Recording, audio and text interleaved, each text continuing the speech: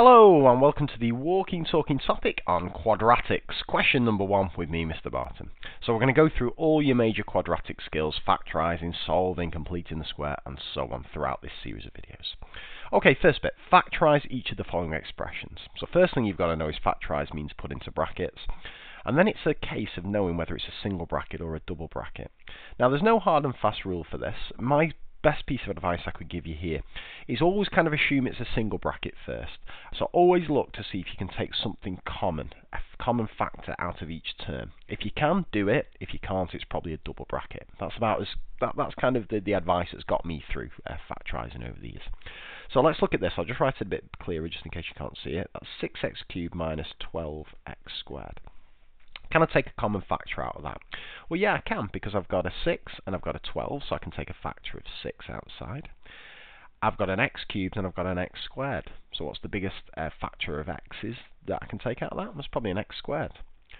So get that, then crack your bracket open, and then just figure out what needs to be inside, so that when you multiply it, you end up with 6x cubed minus 12x squared. So I've got a 6x squared on the outside, but I need a 6x cubed, so I think an x is going to sort that problem out there stick me minus in, and then I've got 6x squared, but I need 12x squared. Well, I think a 2 is going to give me all I need for that one. Perfect. All right, what about this? Quadratic, I like these. So we've got x squared minus x minus 42. Now, it's up to you. You may have been taught a slightly different way of doing these, but this is how I set them out when they've just got a single x squared. I say we've got two numbers, and those two numbers I've got to multiply together to give minus 42 and when you add those two numbers you've got to get the number of x's which in this case minus x is minus 1x so I need two numbers that when I times them I get minus 42 well that tells me one's got to be positive and one's got to be negative. negative and when I add them together I'm going to get negative 1 can you see what that is? I reckon minus 7 and positive 6 are going to fit the bill for that one. So I end up with x minus 7 and I get x plus 6 Okay, and then this is a flipping stupid question. 15x squared, 31x's and 14.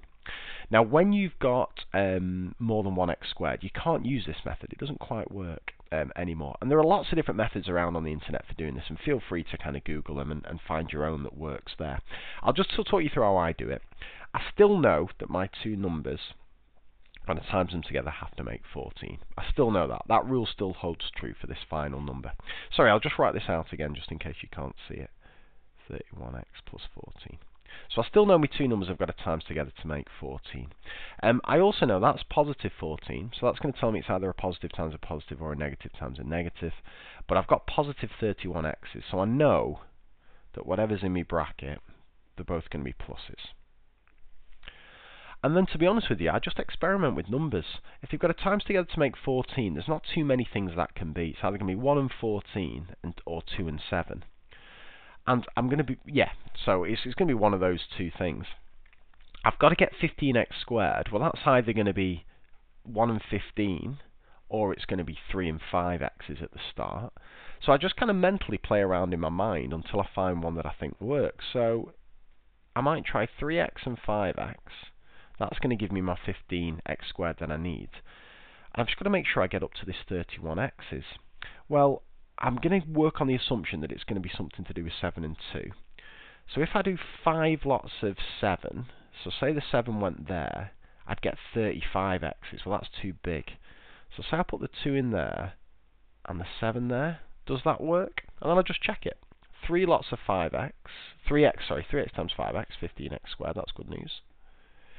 3x times 7, that's 21x's.